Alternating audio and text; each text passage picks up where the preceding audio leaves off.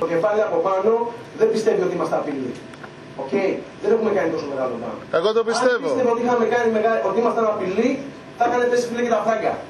Εγώ το πιστεύω ότι. Και μετά μόκο. Εγώ πιστεύω ότι το οποιοδήποτε μουσικό κίνημα είναι απειλή.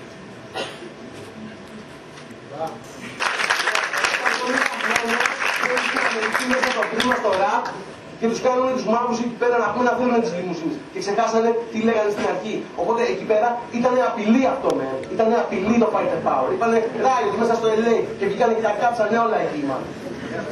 Εντάξει, μετά έγινε gangster rap που έπεσε το χρήμα, τα πήρε όλα ο Snoop. Εντάξει, και μετά δεν ήταν πια απειλή γιατί έπεσε το χρήμα μέσα και βουλώσαν τα στόματά τους. Απειλή, δεν